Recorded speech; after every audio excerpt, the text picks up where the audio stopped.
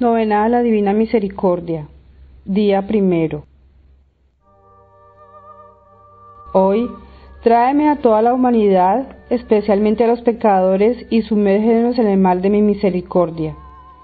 De esta forma me consolarás de la amarga tristeza en que me asume la pérdida de las almas. Jesús tan misericordioso, cuya naturaleza es de tener compasión de nosotros y de perdonarnos, no mires nuestros pecados, sino la confianza que depositamos en tu bondad infinita. Acógenos en la morada de tu muy compasivo corazón y nunca nos dejes salir de él.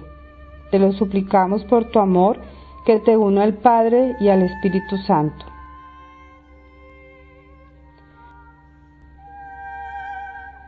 Padre eterno, Mira con misericordia a toda la humanidad y especialmente a los pobres pecadores que están encerrados en el corazón de Jesús lleno de compasión. Y por su dolorosa pasión, muéstranos tu misericordia para que alabemos su omnipotencia por los siglos de los siglos. Amén.